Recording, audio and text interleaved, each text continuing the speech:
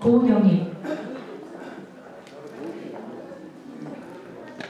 3장.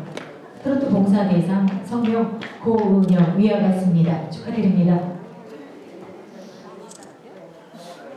가까이 활짝 웃어주시기 바랍니다. 문희준님